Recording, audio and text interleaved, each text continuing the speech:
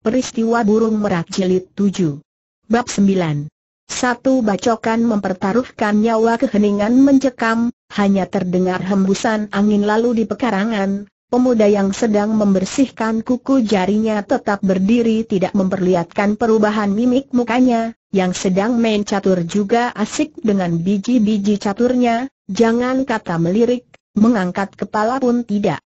Bing Sim tidak sabar lagi, serunya, Kedatangan kami bukan ingin menonton orang main catur, Kong Sun Tu menjadi juru bicara mereka, katanya, aku tahu kalian mencari diriku, akulah yang mencuci bersih Hong Jiok San Cheng dengan darah, kalian tidak salah mencariku, jari tangan Bing Guat Sim menggenggam kencang, kuku jarinya sudah amblas ke kulit dagingnya, katanya, dan mereka bertiga Kong Sun Tu tidak menjawab langsung, tapi dia memperkenalkan dulu pemuda yang sedang membersihkan kuku jarinya. Inilah si Bu Kong Chu dari keluarga Xiao di Lok Yang, seperti sengaja mau pamer, dia menjelaskan lebih terperinci, maksud dari si Bu, empat tanpa, adalah pisau terbangnya tanpa tandingan, membunuh orang tanpa hitungan. Bila sudah bermusuhan tanpa kenal belas kasihan, masih ada satu lagi, tanpa apa umpama tidak bermusuhan juga tanpa kenal kasihan, Kong Sun Tu menjelaskan lebih lanjut, dia masih punya julukan aneh yang cukup panjang yaitu, naik ke langit masuk ke bumi mencari Xiao Li, bertekad bulat membunuh Yap Kei, dahulu Li cilik si pisau terbang Li San Hoan pernah menggetarkan dunia, setiap kali pisau terbangnya disambitkan, selamanya tidak pernah ditimpukan sia-sia, kebesaran jiwanya, kecemerlangan namanya, sampai sekarang belum ada orang yang bisa melampaui, Yake memperoleh ajaran murninya, mewarisi kepandaiannya, malang melintang di bulim selama 30 tahun, walau tidak pernah salah membunuh seorang pun.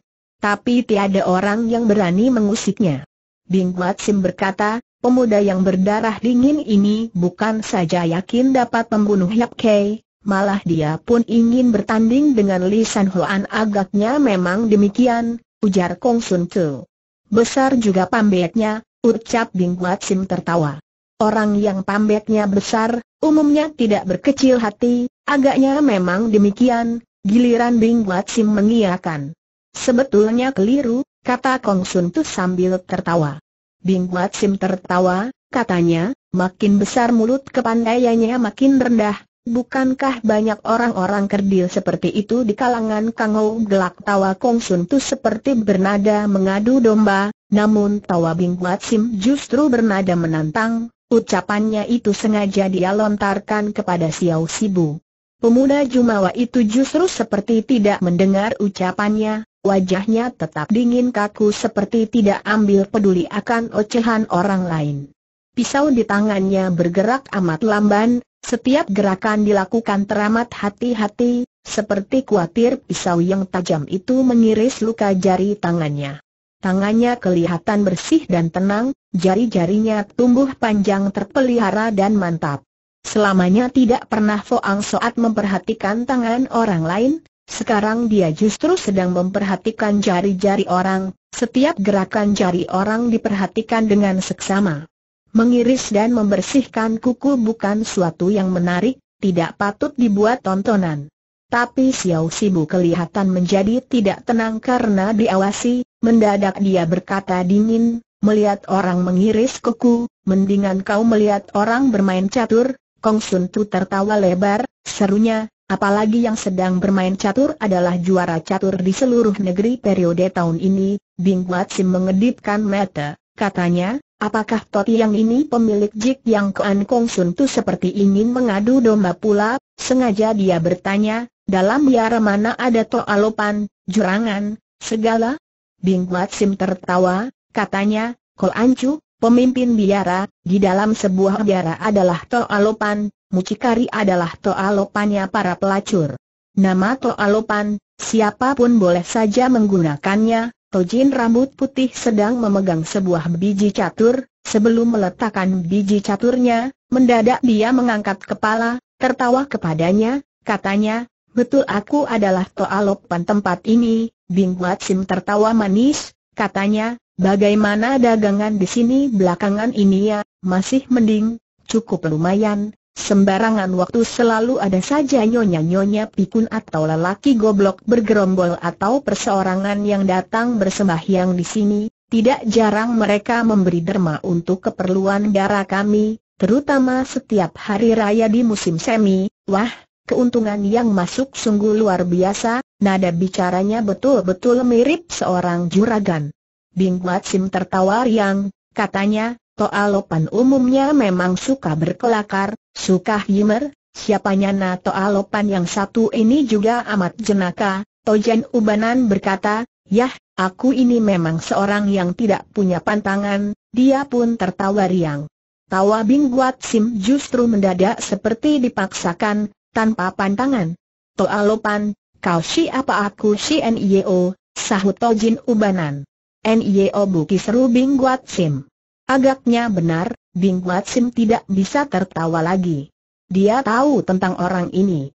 30 tahun yang lalu, N.I.O. Buki pernah sejajar dengan Butong Chiang Bun, dan ternama bersama Pasan Tocu, sebagai salah satu dari Jipto Ahyam Hek, tujuh jago besar ilmu pedang, tanpa aliran. Dia juga tahu empat kata pamau untuk menjuluki Tojin yang satu ini, pertama berbunyi tanpa pantangan dan diakhiri dengan tanpa pantangan pula. Jarang orang tahu keempat patah pameo itu. Tanpa pantangan, tertawa membunuh orang, kalau ingin membunuh orang, tanpa pantangan. Konon bila orang ini bersikap dingin kepadamu, dia malah menganggap kau sebagai sahabat, bila dia ramah tamah dan tertawa sopan kepadamu, umumnya hanya ada satu maksud, yaitu dia hendak membunuhmu. Konon bila dia mau membunuh orang, bukan saja tanpa pantangan, peduli famili atau saudara kandung sendiri juga tidak terkecuali, umpama naik ke langit masuk ke bumi juga kau akan dikejar sampai jiwamu melayang. Tadi dia sudah tertawa, sekarang juga masih tertawa.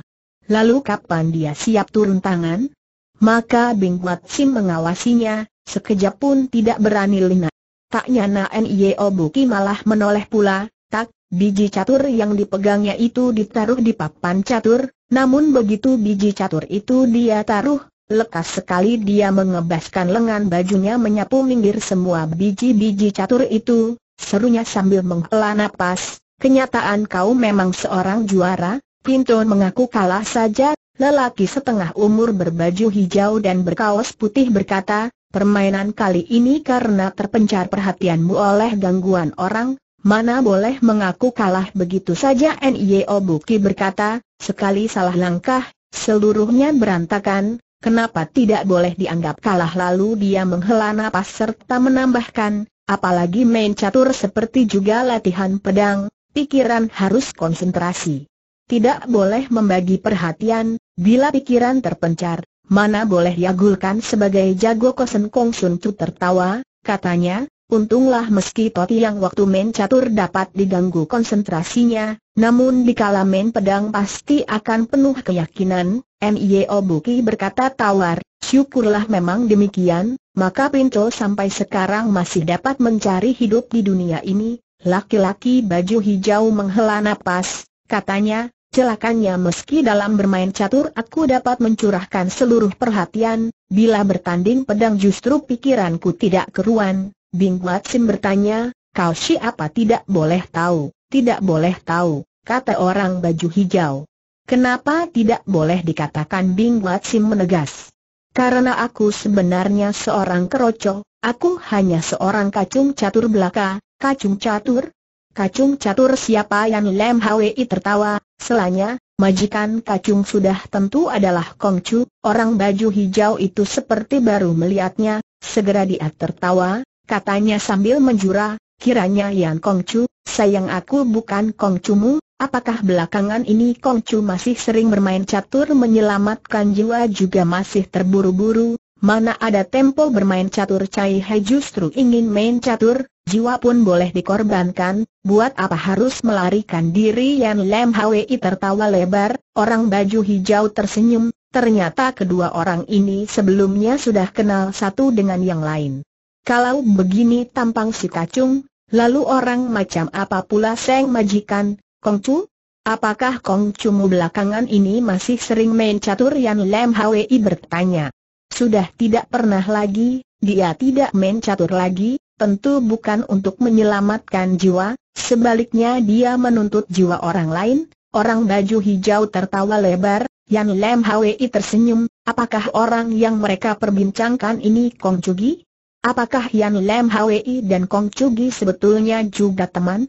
Orang baju hijau menjura pula, katanya, silakan Kong Chu duduk lagi, Cai He mohon diri, kenapa kau tidak duduk lagi aku datang untuk main catur, bila catur tidak bisa dimainkan, buat apa aku tinggal buat membunuh orang membunuh orang?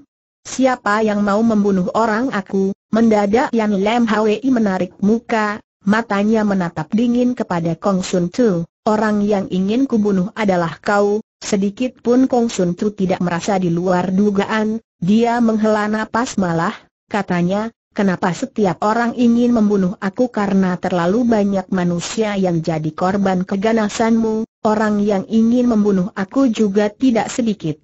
Namun sampai sekarang aku masih hidup, masih segar bugar, masih panjang umur, ya kau sudah terlalu tua, mungkin hari inilah saat tibanya kematianmu, hari ini memang saat kematian, namun entah saat kematian siapa Kong Sun Tu bicara dengan nada memelas, sikapnya tetap tenang, namun nada bicaranya mengandung hasutan, membakar amarah orang.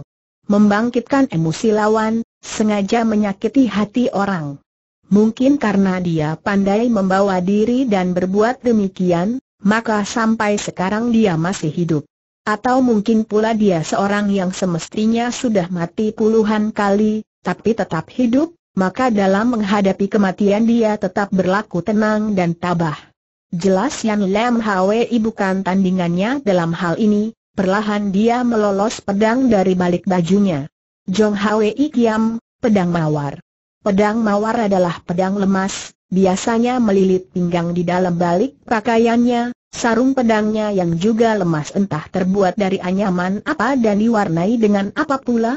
Yang jelas warnanya juga merah, merah seperti sekuntum mawar merah yang mekar, merah laksana darah musuh. Melihat pedang ini, terunjuk rasa kagum dan hormat Kong Sun Chu dari sinar matanya, katanya, aku tahu tentang pedang ini, digembleng ratusan kali, ditempa ribuan kali pula, bisa lemas dapat kaku, senjata tajam yang jarang ada di dunia, aku juga tahu gantolanmu, ucap dan Lem Hwi. Cakar elang memang menakutkan, namun senjata alang yang paling ampuh justru bukan cakarnya, tapi paruhnya. Gantolan yang dipakai Kong Sun Tu dinamakan paruh elang, entah bentuk, bobot dan care penggunaannya jauh berbeda dengan gantolan yang sering terlihat di kalangan Kangou. Yan Lam Hwi tahu orang bersenjata paruh elang, namun dia belum pernah melihatnya. Mana gantolanmu tanyanya. Kong Sun Tu tertawa, katanya, Kapan kau pernah melihat seorang memetik kembang dengan gantolan memetik kembang Yan Lam Hwi menegas? Apakah mawar bukan kembang orang baju hijau mendadak menyelutuk, jika kau ingin memetik mawar, maka jangan kau lupa kalau mawar ada durinya, bukan saja dapat menusuk tangan, juga dapat menusuk hati orang. Kong Sun Tu berkata, aku sudah tidak punya hati untuk ditusuk, tapi tanganmu masih ada dan tanganmu boleh ditusuk, Orang baju hijau mendesak. Kalau dah melukai tanganku, akan kulukai hatinya, dengan apa kau hendak melukai hatinya dengan orang, orang? Siapa Cho Giok Chin? Jadi kalau dia melukai kau, kau akan membunuh Cho Giok Chin Kong Sun Chu mengangguk, katanya, Cho Giok Chin tidak boleh mati, maka aku pun belum saatnya mampus, hanya dia saja yang boleh mati, orang baju hijau berkata, dalam duel nanti, kau sudah menempatkan diri pada posisi yang tidak terkalahkan. Memangnya perlu diragukan ujar Kong Sun Tu sambil mengawasi Yan Lam Hwi dengan tersenyum, oleh karena itu sekarang kau harus mengerti, hari ini saat kematian siapa saat kematianmu, bentak Yan Lim Hwi, suaranya lebih dingin, orang mati takkan bisa membunuh orang, aku ingin mempertahankan jiwa Cho Giok Chin, maka jiwamu harus melayang lebih dulu, Kong Sun Tu menghela napas, katanya. Agaknya kau belum jelas duduk persoalannya, karena tadi aku sudah mengucapkan sepatah kata, kau tidak mendengar, aku sudah mendengar, orang baju hijau berkata. Apa yang kukatakan tanya Kong Sun Tzu. Tadi kau bilang, begitu kau melihat darah, Cho Giok Chin akan segera kau bunuh, orang baju hijau menjelaskan. Kepada siapa tadi aku bilang aku tidak kenal siapa dia, hanya tahu kau memanggilnya jari telunjuk, di mana dia sekarang sudah pergi membawa Cho Giok Chin, ke mana mereka aku tidak tahu, siapa yang tahu agaknya tiada yang tahu, ujar orang baju hijau. Memang tiada seorang pun yang tahu. Kong Sun Tu tersenyum mengawasi Yan Lam Hwi. Sekarang apakah kau sudah paham seluruhnya? Yan Lam Hwi mengangguk. Ternyata sikapnya tetap tenang dan wajar. Maka Kong Sun Tu bertanya, hari ini saat kematian siapa saat kematianmu? Yan Lam Hwi menjawab tegas. Kong Sun Chu menggeleng kepala dengan tersenyum getir, agaknya bukan saja orang ini keras kepala, kukuh dan juga goblok, ternyata sejauh ini dia masih belum mengerti, kaulah yang belum mengerti, karena dihitung seribu kali, diulang selaksa kali, kau tetap melupakan satu hal, ah, apa begitu kau lupa aku tidak boleh mati dan tidak ingin mati, apalagi jika aku mati, Chogiok Chin tetap tidak bisa tertolong, karena itu kenapa aku harus mandah kau bunuh. Kenapa tidak aku saja yang membunuhmu? Kong Sun Tu melenggong, katanya kemudian, kalau kedua pihak sama-sama tidak boleh mati, coba katakan, lalu bagaimana baiknya keluarkan gantolanmu, lawanlah pedangku, dalam sepuluh jurus, jika aku tidak bisa mengalahkan engkau, akan ku serahkan satu jiwa kepadamu, jiwa siapa jiwaku, bagus, kalau kau dapat mengalahkan aku, aku berikan-berikan satu jiwa kepadamu sudah tentu, imbalan harus setimpal, jiwa siapa yang kau kehendaki? Jiwa Cho Giok Chin akan kusaksikan kau menyerahkan dia di hadapanku dengan laku hormat dan sopan, Kong Sun Tu menepekur sebentar, lalu tanyanya kepada orang baju hijau, apakah perkataan ini langsung diucapkan oleh mulut Yan Lem Hwi orang baju hijau mengangguk sambil mengiyakan. Apakah Yan Lam Hwi seorang yang dapat dipercaya sepatah? katanya senilai ribuan tahil emas, mati pun dia tidak menyesal, tiba-tiba Kong Sun Tu tertawa, tertawa lebar, sebenarnya obrolan panjang lebarku ini memang menunggu pernyataannya ini, ketika gelak tawanya terhenti, gantolan pun sudah berada di tangannya. Gantolan yang mengkilap terang, seterang mata elang, setajam paruh elang, walau bobotnya cukup berat, namun gerak perubahannya teramat lincah dan enteng. Kong Sun Tu tersenyum, katanya, tahukah kau di mana kegunaan gantolanku ini? Coba terangkan, tantang Yan Lam Hwi. Kong Sun Chu mengelus pucuk gantolannya yang runcing, katanya, walau bobot gantolan ini cukup berat, di dalam ruang juga dapat dimainkan secara wajar, entah bagaimana dengan pedangmu jika aku terdesak keluar kamar ini, anggaplah aku yang kalah, Kong Sun Tu tertawa lebar, serunya, bagus, tidak lekas kau cabut pedangmu, mau tunggu apa lagi? Tidak perlu, tidak perlu pedang di dalam sarung juga dapat membunuh orang, lalu kenapa harus dicabut? Setelah tercabut, kemungkinan malah tidak bisa untuk membunuh orang, lo, kenapa? Karena letak yang paling menakutkan dari pedang ini bukan pada mata pedangnya, tapi terletak pada sarung pedangnya, Kong Sun Tu tidak mengerti, apakah sarung pedang lebih tajam dari mata pedang Yan Lam Hwi mengelus sarung pedangnya yang merah, katanya, tahukah kau dengan apa aku mewarnai sarung pedangku ini Kong Sun Tu tidak tahu. Dengan getah mawar darah. Agaknya Kong Sun Tu juga tidak tahu apa itu mawar darah, bahwasanya belum pernah dia mendengar jenis kembang ini. Maka Yan Lam Hwi menerangkan, Mawar darah adalah kembang mawar yang selalu kusiram dengan lima jenis darah beracun, lima jenis darah beracun. Jenis panca bisa apakah itu Jit Jun Im Choa, Pek Kot Bu Siong, Jan Lian Hem Hian, Jik Hwe Etok Koat, dan satu lagi satu lagi ialah darah dari dua jana yang hianat. Kali ini Kong Sun Tu ternyata tidak bisa tertawa lagi. Yan Lam Hwi berkata lebih lanjut, Lima jenis kejahatan itulah yang akan ditumpas oleh pedang mawar, jika berhadapan dengan orang yang berbakti, pembesar setia, satria dan pahlawan bangsa, pedang ini justru tidak mampu dikembangkan, lalu perbawa sarung pedang tanya Kong Sun Tzu. Yan Lam Hwi tidak menyangkal, bila berhadapan dengan kelima bisa, Sukma kembang dari mawar darah akan hidup di atas pedang, dia menatap Kong Sun Tu, lalu meneruskan, bila kau salah satu dari panca bisa itu, kau akan mencium suatu aroma wangi secara aneh, maka sukma kembang dari mawar darah secara di luar sadarmu akan mencabut sukmamu. Kong Sun Tu tertawa lebar, codet bekas bacokan di mukanya tampak berkerut laksana ulat yang meringkel, seperti ular yang saling lilit.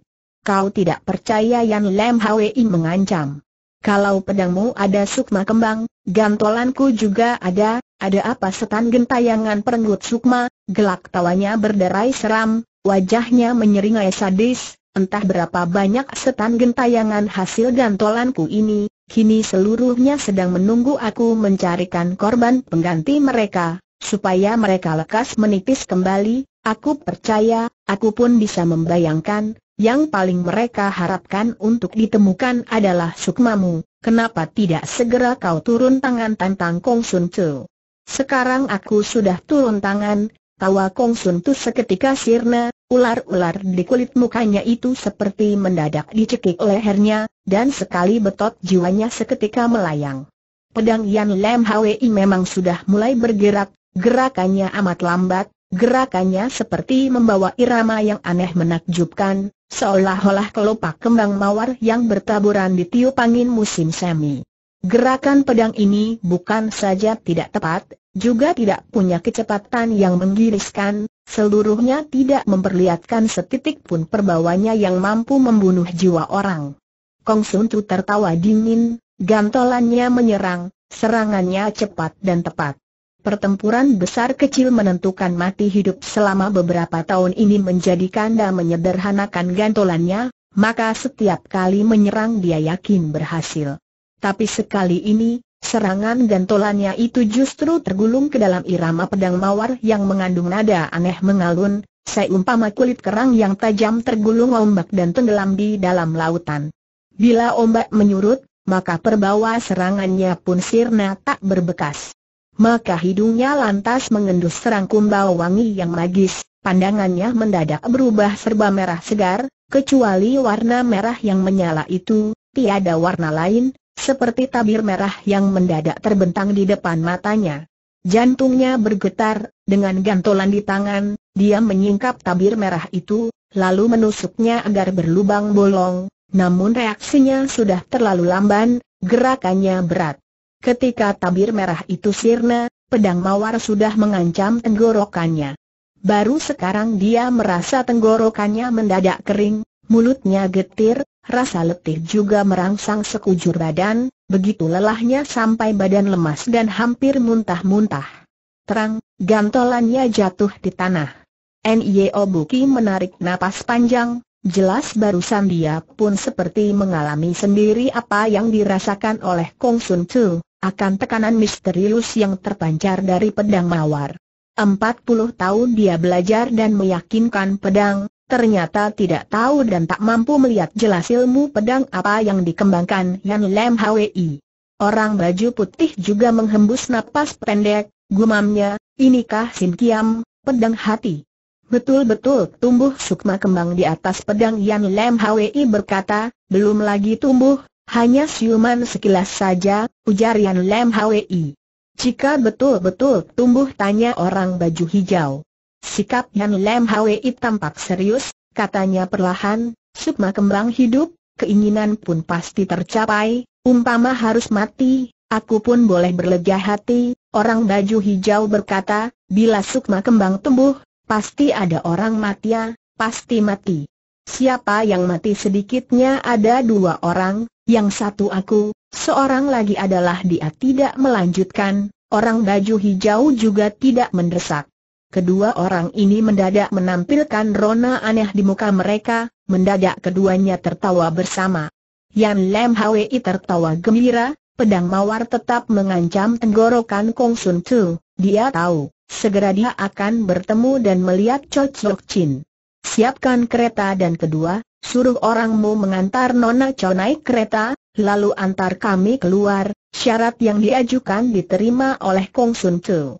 Dengan tersenyum lebar Bing Buat Sim berdiri, dalam hati dia menghela napas, syukur sekali mereka tidak gagal. Xiao Sibu tetap membersihkan kuku jarinya, jari-jari tangannya tetap tenang, tidak goyah, sorot matanya yang semula dingin ternyata sudah menampilkan rasa gelisah. Karena Foang Soat terus mengawasinya, di waktu Yan Lam Hwi bergerak, sorot matanya tidak berkedip, berpaling pun tidak kecuali sepasang tangan pemuda ini, seolah-olah tiada sesuatu persoalan di dunia ini yang patut dipandangnya. Otot hijau sudah merongkol di punggung tangan Xiao Sibu, seakan-akan dia sudah mengerahkan banyak tenaga baru mempertahankan ketenangan kedua tangannya itu. Gerak-geriknya masih lamban, gayanya pun tidak berubah, bisa berbuat seperti apa yang dilakukan sekarang sebetulnya juga bukan soal sepele. Mendadak Foang Soat berkata, tanganmu amat tenang dan mantap, selamanya tidak pernah goyah, tawar suara Xiao Sibu. Gerakanmu pasti juga cepat, dan lagi begitu pisau lepas dari tangan, kemampuan pisau itu sendiri masih mengandung perubahan, kau bisa melihatnya kulihat kau melempar pisau dengan tiga jari tanganmu, maka di atas mata pisaumu itu kau tinggalkan tenaga pusaran, Aku juga dapat melihat kau melempar pisau dengan tangan kiri mengarah ke samping baru menyerang sasaran. Bagaimana kau bisa melihatnya ibu? Jari, jari telunjuk dan jari tengah tangan kirimu amat besar tenaganya, pandangan tajam, patut dipuji, dingin nada Xiao Sibu, namun wajahnya tampak kelam. Pisau bagus, puji Foang Soat. Memang pisau bagus, jumawa sikap Xiao Sibu. Walau pisaumu bagus, tapi masih bukan tandingan Yap Kei, gerak-gerik Xiao Sibu mendadak berhenti. Akhirnya Foang Soat pun berdiri, katanya, bila pisau terbang Yap Kei disambitkan, di dunia ini paling hanya seorang yang dapat menggagalkannya, merongkol pula otot di punggung tangan Xiao Sibu, desisnya tajam, bagaimana pisauku tawar suara Foang Soat, dalam rumah ini sedikitnya ada tiga orang yang dapat menggagalkan serangan pisaumu, kau salah satu di antaranya sudah tentu, memangnya harus disangsikan tegas? Jawaban Foang Soat. Perlahan dia membalik badan, tanpa berpaling dia beranjak keluar. Xiao Sibu mengawasi dia keluar, ternyata dia tidak bergerak, juga tidak bicara. Pisau masih berada di tangan, namun pisaunya pasti tidak sembarangan disambitkan. Dia tertawa dingin sambil mengawasi tapak kaki di atas tanah tapak yang ditinggalkan kaki Foang Soat cukup dalam, waktu dia melangkah keluar dari pintu itu, seluruh kekuatan badannya telah terpusatkan. Karena dia harus memusatkan seluruh tenaganya, bersiap menyambut timpukan pisau Xiao Sibu, tapi pisau Xiao Sibu tidak disambitkan. Ketika Foang Soat berada di luar pintu, dia menengadah menghela napas panjang, kelihatannya dia amat kecewa, bukan saja kecewa, juga mendelu. Mendadak disadarinya bahwa pemuda ini jauh lebih menakutkan dari musuh mana pun yang pernah dihadapinya. Tadi dia sudah tahu gaya mempermainkan pisau orang, maka dia memancingnya supaya pemuda ini turun tangan. Kalau sekarang dia turun tangan, dia yakin dirinya masih mampu menyambut serangannya. Siapa tahu ketenangan pemuda ini ternyata jauh lebih mantap dari pisau di tangannya itu, lebih menakutkan pula. Tiga tahun lagi, bila dia turun tangan, apakah aku masih mampu menyambut serangannya batin Foang Soat? Di depan berkumandang ringkik kuda, pekarangan kecil ini masih dalam suasana tenang, mendadak gemuruh emosi Foang Soat, ingin rasanya dia berbalik membunuh pemuda itu tapi dia tidak berpaling, perlahan dia melangkah keluar. Yang berjalan paling depan adalah Yan Lam Hwi dan Kong Sun Tu. Pedang mawar masih mengancam tenggorokan Kong Sun Tu. Yan Lam Hwi menghadap ke arahnya, selangkah demi selangkah mundur ke belakang. Kong Sun Tu justru tidak mau berhadapan muka, matanya dipejamkan, keadaannya seperti seorang yang menggiring si buta dengan sebatang bambu. Tapi si buta yang satu ini sungguh amat berbahaya, sedikit lina pun tidak boleh, karena sekilas saja akibatnya bisa fatal, maka dia tidak boleh mengendorkan kewaspadaan. yang terakhir keluar dari kamar semadi adalah Bing Wat Sim, baru saja hendak mempercepat langkah menyusul Foang Soat. Mendadak En Buki muncul di sampingnya, katanya, tahukah kau tempat apa di belakang tembok itu Bing Wat Sim menjeleng. En Buki tertawa, katanya, segera juga kau akan tahu. Melihat orang ini tertawa, tangan Bing Wat Sim berkeringat dingin. Nio Buki malah menyurut mundur, dengan tersenyum dia mengangguk. Pada saat itulah dari balik tembok pendek sana sekaligus muncul sembilan orang. Sembilan orang tiga belas jenis MG, setiap jenis sedikitnya ada tiga buah, suara jepretan gendawa atau bekerjanya alat-alat rahasia seperti berpadu, tiga puluhan bintik sinar dingin selebat hujan memerondong datang. Reaksi Bing Watsim tidak lamban, Begitu jepretan gendawa berbunyi, dia pun sudah mengembangkan ginkangnya. Tabir cahaya golok datang laksana kilat cepatnya telah membantu merontokkan sebagian besar ambi yang menyerang. Bing Sim kembangkan gerakannya berkelit ke kiri, sehingga sisa ambi yang masih menyambar tiada yang mengenai tubuhnya, baru saja dia menghela napas lega, sebilah pedang tahu-tahu sudah menusuk ketiak kanannya, Hampir dia tidak merasakan sakit sama sekali. Mata pedang dingin dan runcing, dia hanya merasa tubuhnya mendadak menjadi dingin, dilihatnya Foang Soat yang pucat itu mendadak menampilkan mimik yang aneh dan lucu, mendadak tangannya diulur menarik dirinya. Kejap lain dia sudah jatuh ke dalam pelukan Foang Soat. N.I.O. Buki menggunakan sebatang pedang Siong Bun Kokiam, pedangnya itu sekarang sudah terlolos dari sarungnya, ujung pedang masih meneteskan darah. Matanya menatap darah di ujung pedangnya, wajahnya mendadak berubah tidak berekspresi sama sekali. Sekali serga pasti kena. Dia sudah memperhitungkan bahwa Foang Soat pasti mencabut golok sudah diperhitungkan ke arah mana Bing Wat Sim akan menyingkir, maka di sanalah pedangnya sudah menunggu, setiap gerakan, setiap posisi yang paling ruwet sekalipun sudah berada dalam perhitungannya yang cermat, dia sudah memperhitungkan satu kali tusuk pasti kena. Sembilan orang yang barusan muncul dari balik tembok pendek ini sudah tidak kelihatan lagi, Foang Soat tidak mengejar mereka, hanya memandang dingin kepada En Yeo Buki. Yan Lam Hwi juga sudah berhenti, tangannya yang memegang pedang tampak gemetar. Mendadak En Buki berkata, lebih baik kau berhati-hati, jangan kau melukainya, jika dia mati, Cho Giok Chin juga pasti akan mati. Yan Lam Hwi mengertak gigi, desisnya, kau ini seorang jago pedang yang kenamaan, tempat ini adalah biara tetirahmu, dengan cara keji dan kotor kau membokong serta melukai seorang perempuan, sebetulnya kau ini barang apa? tawar suara N.I.O. Buki, Aku adalah Nio Buki, aku ingin membunuhnya. Orang baju hijau berdiri jauh di samping pintu kamar semadi, katanya setelah menghela napas, jika ingin membunuh orang, selalu tanpa pantangan, Nio Buki ternyata memang Nio Buki, kata Nio Buki pula, kalau sekarang aku tidak membunuhnya, kesempatan baik ini terabaikan begini saja. Kelak mungkin tiada kesempatan kedua, Foang Soat menatapnya, satu tangan menggenggam golok, tangan yang lain memeluk Bing Guat Sim yang pingsan, terasa olehnya badan Bing Guat Sim sudah mulai dingin. Kalian ingin menuntut balas kematiannya Nio Buki menantang. Sepatah kata pun Foang Soat tidak bicara, dia mulai mundur ke belakang. Yan Lam Hwi mengawasi Bing Guat Sim dalam pelukan Foang Soat, lalu menatap Kong Sun Chu yang terancam di ujung pedangnya. Kong Sun Tu tetap memejamkan mata, mukanya yang penuh codet mirip selembar topeng. Mendadak Yan Lam Hwi juga mulai mundur.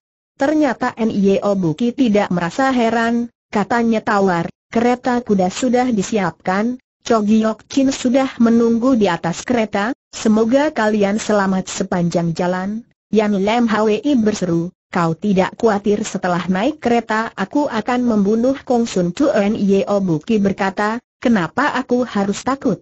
Mati hidup Kong Sun Tu ada sangkut paut apa dengan diriku mendadak dia membalik tubuh terus beranjak ke arah kamar semadi, waktu tiba di depan pintu dia menarik orang baju hijau, katanya pula, hayolah kita bermain catur lagi, Orang baju hijau segera mengangguk, katanya sambil tersenyum, aku kemari memang ingin main catur, kereta kuda memang sudah lengkap tersedia. Seorang nyonya muda yang hamil, tengah duduk di pojok sambil menunduk sesenggukan. Foang Soat membawa Bing Wat Sim naik ke atas kereta, pedang mawar masih mengancam tenggorokan Kong Sun Tu. Buka matamu, Hardik Yan Lam Hwi beringas. Kong Sun Tu segera membuka mata. Yan Lam Hwi menatapnya, katanya penuh kebencian, sebetulnya ingin aku membunuhmu, tapi kau tidak akan turun tangan, kalem suara Kong Sun Tu, karena kau adalah Yan Lam Hwi yang boleh dipercaya, lama Yan Lam Hwi menatapnya pula, mendadak kakinya melayang menendang perutnya. Huk, Kong Sun Tu segera meliuk badan, perlahan badannya menjungkir roboh seperti udang kepanasan air mata, ingus dan keringat dingin bercucuran bersama.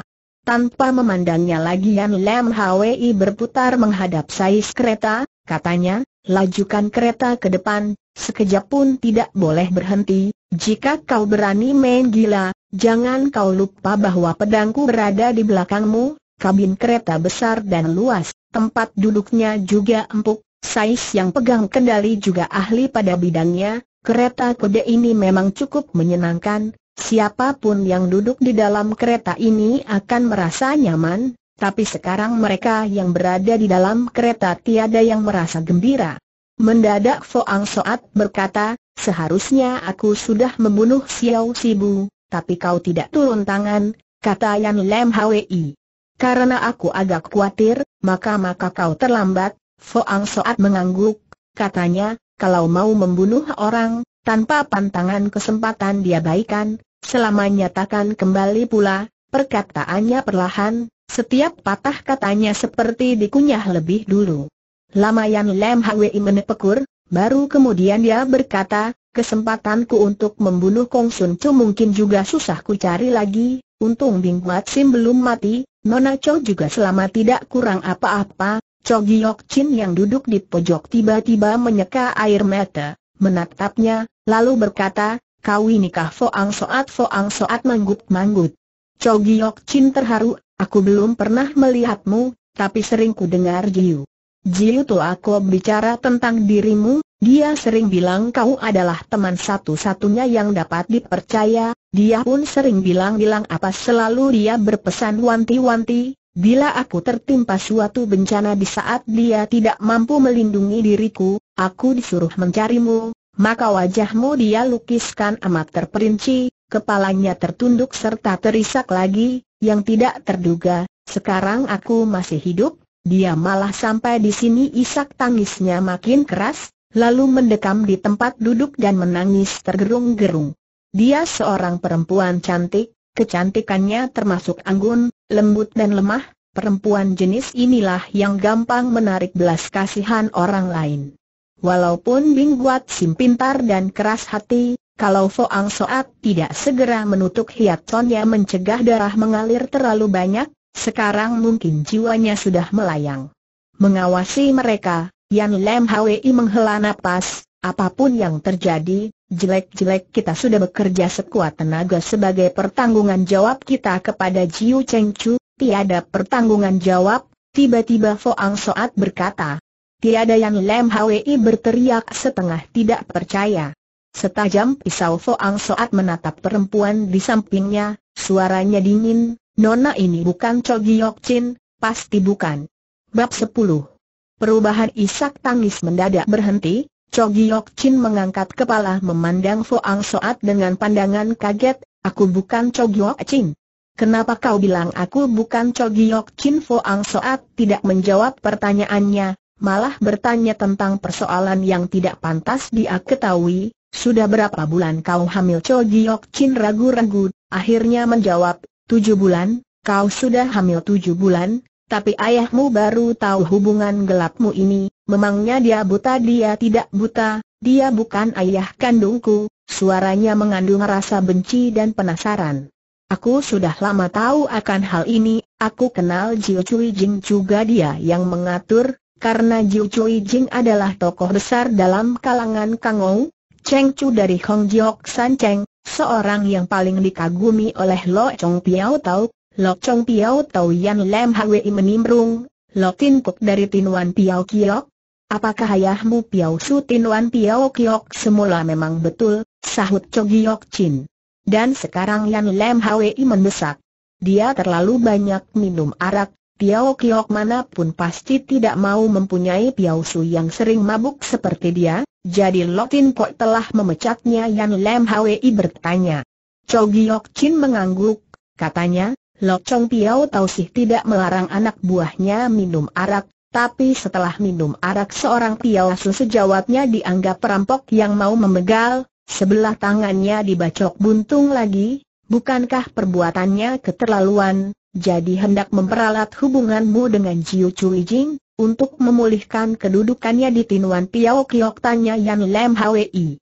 Memang besar keinginannya sampai hampir gila, umpama aku ini putri kandungnya juga tidak segan-segan dia berbuat demikian. Sayang Jiu Cui Jing tidak sudi berbuat demikian, Lotin Kok juga bukan manusia yang cepat pikiran, mementingkan hubungan tidak memikirkan kepentingan umum, oleh karena itu walau setiap bulan Jiu Cui Jing menyokong seratus tahil perak untuk beli arak, dia masih belum puas, setiap kali mabuk, selalu berusaha menyiksa aku, hingga pagi hari ini kau betul-betul tidak tahan lagi aku ini seorang perempuan, namanya saja adalah putrinya, apa pun yang dia lakukan terhadapku, aku harus menerima dan menelan kegetiran ini.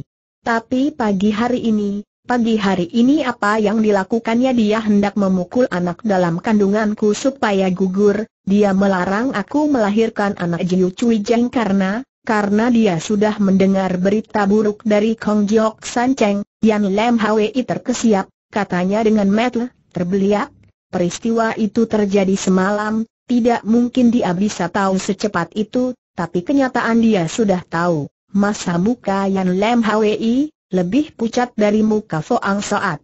Hanya sejenis orang yang bisa memperoleh berita dengan cepat, berita kilat. Umpama semalam dia tidak ikut meluruk ke Hong Jiong San Cheng, tidak menjadi Alkojo, pasti juga ikut penjaga atau kurir. Jika aku melihat orang sebanyak itu dibantai secara kejam, setelah pulang pasti juga ingin minum arak sampai mabuk, demikian kata Yan Lam Hwi. Sejak tadi Foang Soat diam saja, mendadak dia bertanya, kau kenal Lo Tin Kok? Dia orang macam apa? Usaha Tinuan Piao Kiok makin besar, cabangnya juga luas. Untuk menjadi seorang Piao Su Tinuan Pao Kiok diperlukan ujian yang cukup berat, dia pandai memilih orang, pegawainya semua pilihan, jago-jago kelas 1, sahut Yan Lam Hwi. Mengepal jari-jari Foang Soat. Chow Giok Chin berkata, kungfu ayah angkatku tidak lemah, jikalau arak tidak membuatnya rusak, bukan mustahil suatu ketika dia bisa diangkat menjadi Chong Piao Tau, dingin perkataan Fo Ang Soat, menjadi Chong Piao Tau sukar, membunuh orang mudah, kau kira dia juga salah seorang pembunuhnya tanya Yan Lam Hwi. Kalau bukan pembunuh juga pembantu kejahatan, kalau begitu, marilah kita mencarinya, Waktu naik kereta tadi sudah kuberi pesan, jalan yang kita tempuh sekarang juga menuju ke sana, ujar Foang Soat. Lalu dipandangnya Cho Giok Chin, karena itu aku harap apa yang kau katakan semuanya benar, Cho Giok Chin balas menatapnya, pembohong tidak akan berani balas menatap matanya, juga tidak akan memperlihatkan sikap yang wajar begini. Yan Lam Hwi menatapnya, lalu menatap Foang Soat, seperti ada pendapat yang ingin dia kemukakan. Sebelum dia buka suara, seorang sudah berkata dengan keras, sekarang jangan kita pulang ke rumah keluarga Cho. Ternyata Bing Sim sudah siuman, dia terlalu banyak mengeluarkan darah, badannya teramat lemah, kelihatannya dia harus mengerahkan sisa tenaganya untuk melontarkan perkataannya tadi. Yan Lam Hwi meletakkan badannya supaya tidur lebih enak, lalu bertanya, kenapa kita tidak boleh pulang ke rumah keluarga Chona pas Bing Wat Sim memburu, katanya, karena di sana sekarang pasti sudah ada perangkap keji, besar hasratnya mengemukakan apa yang terkandung dalam hatinya, sehingga wajahnya yang pucat bersemu merah, Kong Sun Tu tentu tidak berpeluk tangan, tentu dia juga menduga bahwa kita pasti akan pergi ke rumah Choteng Lei, orang mereka banyak, semuanya jago-jago liai, aku sendiri sudah terluka parah, Yan Lam Hwi mencegahnya banyak bicara, aku mengerti maksudmu, Foang Soat juga pasti maklum, kalian tidak mengerti, kata Bing Guat Sim ngotot, bukan demi diriku. Aku juga tahu dengan kekuatan kalian berdua mungkin kuat menghadapi mereka, tapi bagaimana dengan Nona Chok?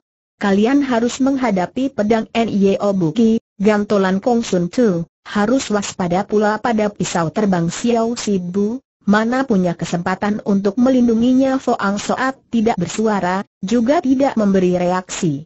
Bing Wat Sim mengawasinya, katanya, Kali ini kau harus tunduk pada usulku, sekarang kau harus lekas menghentikan kereta ini dan putar balik, tidak perlu, pendek jawaban Foang Soat. Dan, kenapa tidak kau dengar usulku Bing Wat Sim amat menyesal. Wajah Foang Soat tetap kaku, katanya tawar, karena jalan raya ini bukan menuju ke rumah keluarga Cho, Bing Wat Sim melengak, serunya, bukan? Bagaimana bisa bukan karena aku suruh dia membawa kereta ini keluar kota, mana berani dia menempuh jalan lain lega hati Bing Wat Sim, katanya, ternyata jalan pikiranmu sama dengan aku, dingin dan keras tegas suara Foang Soat. Selamanya aku tidak pernah mempertaruhkan jiwa orang untuk menempuh bahaya, tapi tadi kau. Tadi aku bilang demikian hanya untuk mencoba dan menjajaki hati Nona Cho saja, Sebelum dia bicara habis, kereta mendadak berhenti, Seng Kusir melongok ke belakang dan berkata dengan mengunjuk tawa berseri, sekarang sudah berada di luar kota, ke mana lagi Fotai Hia akan pergi dengan dingin Foang Soat mengawasi wajah orang yang berseri itu, tiba-tiba dia bertanya, bukankah yang kau latih kungfu dari Siantian Bukit Pei tawa si Kusir mendadak kaku, sahutnya, Hakikatnya hamba tidak pernah latihan kungfu segala. Foang Soat tidak menghiraukan jawabannya, tanyanya pula, Tio Buke, Tio Buliang bersaudara apakah ayah dan pamanmu? Atau guru musik kusir menatapnya dengan terbelalak kaget, seperti mendadak melihat setan yang menakutkan. Dia memang mahir sebagai kusir, sejak tadi duduk tenang memegang kendali, bukan saja tidak melakukan gerakan apa pun, dia pun tunduk pada perintah, sungguh dia tidak habis mengerti, makhluk aneh yang bermuka pucat ini, bagaimana bisa membongkar asal-usulnya. Foang Soat berkata, kulit dagingmu mengkilap, pori-porimu kelihatan lembut berhimpit, sehingga mirip sesuatu barang yang direndam dalam minyak, hanya seorang yang pernah meyakinkan Hikang Tunggal dari Siantian Bukit P saja baru memperlihatkan gejala-gejala kulit tangan yang berbeda, tajam benar pandangan makhluk aneh ini, akhirnya si kusir menghela napas, katanya tertawa getir, Cai Hetioping, Tio Bukit adalah ayahku, bukankah kau masih punya nama lain dan biasa dipanggil jari telunjuk tanya Foang Soat pula. Terpaksa Tio Ping mengangguk, dia insyaf di hadapan makhluk aneh ini hakikatnya dia tidak bisa berbohong lagi. Foang Soat berkata, menilai keluarga dan asal-usulmu, ternyata kau melakukan kejahatan yang memalukan, sepantasnya aku mewakili Sian Tian membersihkan nama baik perguruannya. Berubah air muka Tioping, katanya tergagap, tapi aku, Foang Soat tidak memberi kesempatan dia bicara, jika kau bukan putra tunggal Tio Buke, sekarang kau sudah mampus di bawah kereta, dia duduk di dalam kereta, tidak bergerak. Jari-jari yang paling lincah pada tangan setiap orang adalah jari telunjuk. Seorang yang duduk di dalam kereta tidak bergerak, bagaimana mungkin bisa membunuh Tio Ping yang lincah seperti jari telunjuk? Akhirnya Tio Ping insyaf akan hal ini, maka tubuhnya sudah siap melambung. Foang Soat berkata, hari ini aku tidak membunuhmu, aku hanya menuntut supaya kau tinggalkan jari tanganmu yang sering kau gunakan membunuh orang, mendadak Tio Ping tertawa lebar, katanya, maaf saja, jari tanganku masih berguna, mana bisa ku berikan kepadamu, mendadak sinar golok berkelebat, darah pun munkrat. Berbareng tubuh Tio Ping juga melambung pergi, mendadak dilihatnya sebuah tangan berlompatan darah melayang jatuh dari tengah udara. dia masih belum tahu bahwa kurungan tangan itu adalah tangannya sendiri, sambaran golok teramat cepat, dia masih belum merasakan sakit, dia malah sedang tertawa. Bila tangan itu sudah jatuh di tanah, baru dia sadar bahwa tangannya sudah kurang satu. Gelak tawa berubah jeritan, orangnya juga terbanting keras. Sinar golok lenyap, golok sudah masuk ke sarung, Foang Soat tetap duduk di dalam kereta, tidak tampak bergerak. Pergelangan tangan yang buntung dimasukkan ke dalam lengan baju, dengan tangan yang masih utuh Tio Ping berpegang pada sisi kereta serta meronta berdiri, lalu menatapnya. Tidak lekas kau enyah, desis Foang Soat. Tio Ping mengertak gigi, katanya, aku tidak akan pergi, aku ingin melihat golokmu. Golokku bukan untuk tontonan, tanganku sudah buntung, berilah kesempatan padaku untuk melihat golokmu. Lama Foang Soat menatapnya, mendadak dia pun berkata, baik, lihatlah, golok berkelebat, rambut bertebaran. Itulah rambut Tioping. Setelah dia melihat rambut itu berserakan di tanah, sinar golok pun telah lenyap. Golok sudah kembali ke dalam sarung, dia tetap tidak melihat golok itu. Saking ketakutan, kulit daging mukanya mendadak berkerut dan kedutan, dia menyurut mundur dengan sempoyongan, mulutnya memekik histeris, kau bukan manusia, kau iblis laknat, yang kau pakai juga golok setan, golok yang hitam, metu yang hitam pula. Chogiok Chin juga sedang mengawasi golok itu, lama dia melamun, sorot matanya menampilkan ketakutan dan ngeri. Golok hitam ini seolah-olah sudah bersenyawa dengan Foang Soat, seperti salah satu anggota badannya saja. Chogiok Chin coba bertanya, pernahkah kau meletakkan golokmu ini? Tidak. Bolehkah aku melihatnya? Tidak boleh. Pernah kau perlihatkan kepada orang lain? Tanya Chogiok Chin. Apa betul itu golok iblis Foang Soat berkata, iblisnya tidak di dalam golok, tapi di dalam hati, hanya orang yang hatinya ada iblis, maka dia tidak akan luput dari sambaran golokku ini, Tiada orang bergerak, kereta itu pun berhenti. Yan Lem Hwi menghela napas, katanya, agaknya sekarang kita tiada tempat tujuan tertentu lagi, ada saja, sahut Foang Soat. Ke mana kembali ke Hong Jiok San Cheng, Yan Lem Hwi tercengang, katanya, kembali ke Hong Jiok San Cheng? Masih ada apa di sana? Masih ada kamar rahasia di bawah tanah, Yan Lem Hwi segera maklum, katanya, Maksudmu Bing Guat Sim harus bersembunyi di sana untuk menyembuhkan luka-lukanya. Tiada orang menyangka dia berada di sana, di sana hanya ada jalan buntu, tempat yang mematikan, ya, tempat yang mematikan untuk bertahan hidup. Begitulah, kita tetap naik kereta ini kereta kuda tidak akan membocorkan rahasia, juga tidak akan menjual jiwa kita, benar, hanya manusia menjual manusia, maka kau mengusir Tioping. Sekarang siapa yang akan pegang kendali engkau? Dinding kamar bawah tanah itu meski berlubang oleh ledakan dahsyat itu, tempat lain masih tetap kokoh dan kuat, masih rapi dan tiada perubahan. Sekarang jalan keluar masuk satu-satunya kamar rahasia hanyalah lubang ini, ya, hanya boleh keluar, tidak boleh masuk. Lo, kenapa tanya Lam Hwi? Karena Bing Guat Sim masih punya Hong Jiok Ling. Hong Jiokling miliknya masih berguna siapa bilang tidak berguna, asal dia memegang Hong Jiokling dan berjaga di sini, siapa pun takkan berani masuk, ya, pasti tidak ada yang berani, bagaimanapun aku tetap mengharap tiada orang lain kemari, Chogiok Chin tidak tahan, dia bertanya, apakah kalian hendak meninggalkan dia di sini seorang diri tidak? Sahut Foang Soat pendek. Siapa yang akan menemani dia kau, dan kalian? Kalian mau pergi ke mana pergi membunuh orang, desis Foang Soat. Membunuh orang-orang yang membunuh orang itu tanya Cho Giok Chin. Kong Sun Tzu pasti akan menuntut balas, aku pun tidak akan membiarkan dia hidup. Cho Giok Chin mengawasi golok di tangannya, katanya, orang yang membunuh orang bukankah di dalam hatinya juga dirangsang iblis benar, Apakah dia pasti tidak akan mampu terhindar dari sambaran golokmu? Pasti tidak. Mendadak Cho Giok Chin berlutut, air matanya bercucuran, aku mohon kepadamu, bawalah jantung hatinya kembali, aku ingin bersembahyang kepada arwah ayah anak yang berada dalam kandunganku. Foang Soat menatapnya, katanya mendadak, aku bisa melaksanakan hal itu.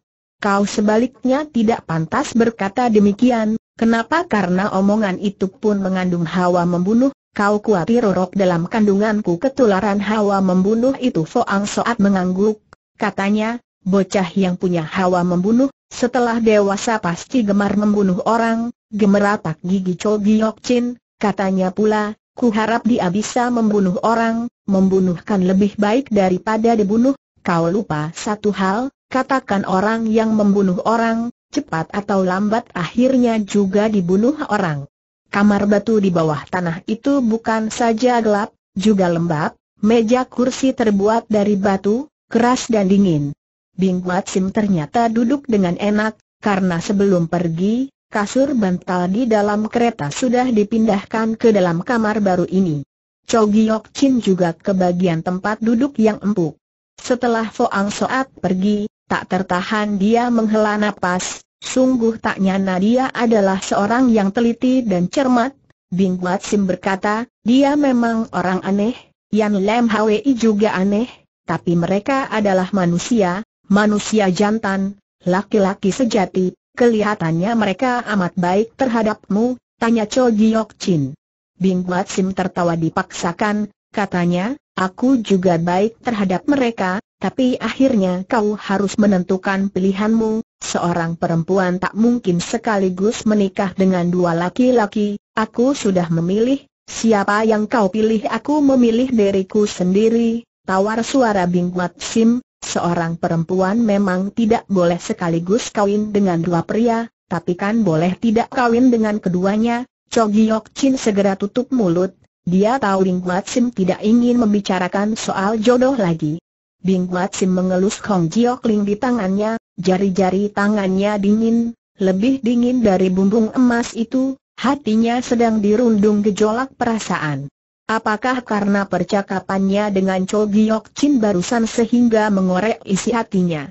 Agak lama kemudian mendadak Cho Giok Chin bertanya, apakah yang kau pegang itu benar-benar Hong Jiok Ling bukan yang asli, bolehkah aku melihatnya? Tidak boleh, kenapa walau Hong Jiok Ling ini bukan yang asli, tapi dia juga alat untuk membunuh orang, tetap punya hawa untuk membunuh orang, aku tidak ingin orok dalam kandunganmu ketularan hawa membunuh. Chow Chok Chin mengawasinya, mendadak tertawa, katanya, kau kenapa aku tertawa entahlah, mendadak ku sadari nadamu bicara amat mirip Foang Soat, maka, maka kenapa jika kau harus menikah, kupikir kau pasti menikah dengan dia, Bing Wat Sim tertawa, katanya. Untung aku tidak pasti harus menikah, tapi aku harus menikah, kenapa? Karena anak dalam kandunganku, aku aku tidak akan membiarkan dia lahir tanpa ayah. Siapa yang kau pilih untuk menjadi ayahnya sudah tentu harus seorang lelaki sejati, seorang lelaki yang mampu melindungi kami, lelaki seperti Foang Soat begitu ternyata Cho Giok Chin tidak menyangkal. Tahukah kau, dia itu tidak punya belas kasihan, Cho Giok Chin tertawa sendu, katanya, punya atau tidak belas kasihan, memangnya siapa yang dapat membedakan kita tetap naik kereta ini ya, siapa pegang kendali engkau, kenapa aku lagi? Karena aku tidak bisa, kenapa setiap patah katamu selalu membuatku melenggong. Karena aku selalu bicara jujur, terpaksa Yan Lem Hwi naik ke atas kereta, mengayun cemeti, katanya, coba saksikan ini, bukan tugas berat atau sukar. Siapa pun bisa, Kenapa kau tidak belajar kalau setiap orang bisa, setiap orang bisa pegang kendali keretaku, buat apa aku belajar? Kembalian Lem Hwi melenggong, ucapanmu memang selalu jujur, selalu masuk akal, aku jadi ingin suatu ketika berbohong ala kadarnya, kenapa? Karena omongan jujur kedengarannya tidak seenak dan senikmat omongan bualan, kereta itu bergerak maju, lama sekali menempuh perjalanan, Foang Soat masih terus terpekur, mendadak dia bertanya, kau kenal orang yang menemani N.I.O. Buki bermain catur itu Yan Lem Hwi manggut-manggut, katanya, dia bernama Kuki, catur sewaan, salah seorang panglima besar Kong Chugi, Konon pembantunya ada empat tokoh besar, yaitu yang dinamai dengan Harpa, Catur, menulis dan menggambarkan, bukan empat, tapi lima orang tokoh besar, yaitu Gihim, Kuki, Ongsu, Go Hoat dan Xiao Kiam. Kau pernah melihat kelima orang itu pernah kulihat tiga, waktu itu Kong Chugi belum menemukan Gihim dan Xiao Kiam, waktu itu kapan Yan Lam Hwi tutup mulut. Bukankah di saat kau sering bertemu dengan Kong Chugian Lem Hwi tetap tutup mulut? Kau tahu rahasianya, siapa-siapa jago kosen yang dikuasainya kau juga hafal, jadi sebelum ini kalian sering berhubungan Yan Lem Hwi tidak menyangkal, memang tidak bisa menyangkal. Sebetulnya pernah apa di antara kalian orang lain selalu bilang setiap patah katamu bagai emas, kenapa hari ini aku menjadi bosan mendengar ocehanmu? Karena kau tidak bisa berbohong, juga tidak berani bicara jujur, sekarang yang ingin kubicarakan adalah kau, bukan aku, yang ingin kubicarakan justru dirimu, apakah kita tak bisa berbincang persoalan lain? Sampai sekarang aku masih belum tahu ke mana tujuanmu kau tahu, untuk membunuh manusia, sudah tentu harus mencarinya ke tempat di mana dia mengatur perangkapnya, maksudmu ke rumah Choteng Lei dahulu memang, sekarang bukan orang yang sudah mati takkan punya rumah, jadi Cho Teng Lei sekarang sudah mati oleh karena itu tempat itu hanyalah sebuah perangkap belaka, aku jadi mengharap semoga orang-orang buruan itu sekarang masih berada di sana, pantasnya mereka belum pergi, untuk menjadi seorang pemburu, pelajaran pertama yang harus dihafalkan adalah bersabar, Cho Teng Lei memang sudah mati, mayatnya sudah kaku, sudah dingin. Ini bukan kejadian di luar dugaan, bila membunuh untuk mencari sesuap nasi, pelajaran pertama yang harus diresapi adalah menutup mulutnya. Bila kau pernah sekali ikut aksi mereka, sembarang waktu kemungkinan mulutmu bakal ditutup oleh mereka. Dalam anggapan mereka, jiwa seseorang tidak lebih berharga dari seekor anjing liar. Begitulah keadaan Cho Teng Lei sekarang, Keadaannya lebih mengenaskan dari kematian seekor anjing liar di bawah pohon. Foang Soat mengawasi dari kejauhan, sorot matanya diliputi rasa duka dan kasihan. Nyawa memang berharga, kenapa manusia justru banyak yang tidak bisa menghargai nyawa? Dia merasa simpati kepada orang yang menjadi korban ini, mungkin karena dahulu dia pun hampir musnah karena arak. Arak itu tidak jelek, Persoalannya terletak pada awakmu sendiri, jika kau suka tenggelam dalam air kata-kata yang berlimpah, tak bisa membangkitkan semangat juang sendiri, maka tiada manusia di dunia ini yang bisa menolongmu. Kesan sanubarian Lem Hwi mungkin tidak sedalam dia, dia masih muda, hatinya masih diliputi cita-cita, angan-angan muluk. Maka dia ingin bertanya, perangkapnya di sini, Mana pemburunya Foang Soat masih diam. Dari pojok rumah mendadak terdengar sebuah bentakan, lihat pisau selarik sinar pisau laksana sambaran kilat meluncur lurus ke punggungnya. Foang Soat tidak berkelit, tidak bergerak. Yang bergerak hanya goloknya. Ting, kembang api pun berpijar, selarik sinar pisau melambung tinggi ke angkasa, kelihatannya seperti menembus tiga lapis mega dan lenyap di telan angkasa. Golok Foang Soat kembali ke sarungnya. Yan Lam Hwi menghela napas lega, katanya, gelagatnya paling sedikit masih kurang seorang, aku sudah tahu, dia telah belajar bersabar, setelah berlangsung percakapan ini, maka tampak sinar golok melayang jatuh, waktu jatuh, sinar yang semula satu berubah menjadi dua, seperti batu meteor jatuh di tanah. Itulah sebilah pisau, pisau terbang. Mata pisau beradu dengan mata golok, kekuatan benturan yang keras menyebabkan pisau kecil itu mencelat ke udara mencapai puluhan tombak. Pisau terbang sepanjang empat dim sekarang telah putus menjadi dua keping. Siapa dapat membayangkan atau mengukur betapa dahsyat kekuatan dan kecepatan luncuran pisau terbang itu? Tapi Foang Soat mengayun golok ke belakang, pisau terbang itu telah dipukulnya mencelat dan jatuh.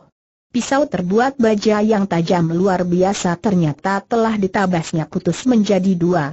Di belakang rumah seorang menghela napas, katanya, memang ilmu golok yang tiada keduanya di dunia, kau memang tidak membual, perlahan Foang Soat membalik badan, katanya, kenapa kau belum pergi begitu dan membalik, lantas melihat Xiao Sibu, Xiao Sibu beranjak keluar dengan tangan kosong, katanya dingin, di antara empat tanpa Xiao Kongcu, tiada tanpa tahu malu, umpama aku harus pergi juga aku akan pergi secara terang-terangan, tangannya sudah tidak memegang pisau, bagai gadis belia yang mendadak bertelanjang bulat, sehingga tangannya kerepotan bergerak naik turun entah harus diletakkan di mana. Akan tetapi dia tidak lari.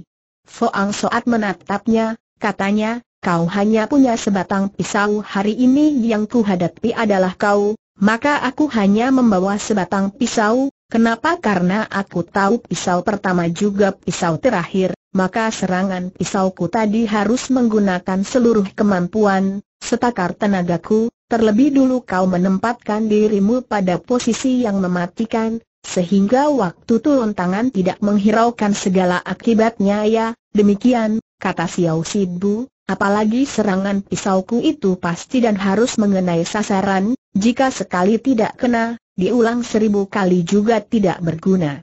Foang Soat menatapnya, mendadak dia mengulap tangan, katanya, ucapanmu memang bagus, baiklah, kau boleh pergi, kau membebaskan aku tanya Xiao Sibu. Kali ini aku tidak akan membunuhmu, karena kau mengucapkan dua patah kata, dua patah kata apa lihat pisau, Sebelum pisau terbang disambitkan, bersuara memberi peringatan jelas ini bukan sepak terjang manusia rendah, manusia inagina.